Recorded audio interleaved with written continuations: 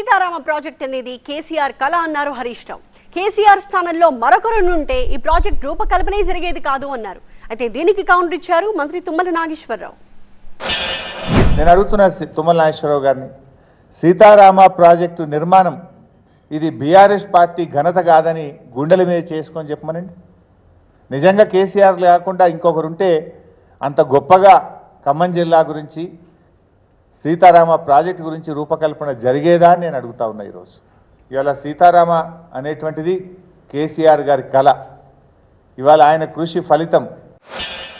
ప్రభుత్వాల మీద ఆ రోజు ఎన్టీ రామారావుని అడిగాను చంద్రబాబు గారిని అడిగాను తర్వాత వచ్చిన రాజశేఖర రెడ్డి గారిని అడిగాను తర్వాత వచ్చిన కేసీఆర్ గారిని అడిగాను. నా ప్రయత్నం నేను చేసుకుంటూ ఇక్కడ దాకా తీసుకొచ్చా. దీన్ని కొనసాగించి పూర్తి చేయాలనేదే తప్ప ప్రజాస్వామ్యంలో నాది నీది ఉండదు. ప్రజలదే ఉంటుంది. ఈ ఆస్తి ప్రజలది. వాళ్ళ యొక్క చెమట వాళ్ళ యొక్క రక్తం వాళ్ళ యొక్క కష్టంతో వాళ్ళ ట్యాక్స్ మనీతోటి నిర్మాణం చేస్తున్నాం. ఇది ఎప్పుడు ప్రజలకు దక్కుద్ది ప్రజాస్వామ్యంలో తప్ప నవాబులకి రాజులకి పాలకులకి పార్టీలకి దక్కదు.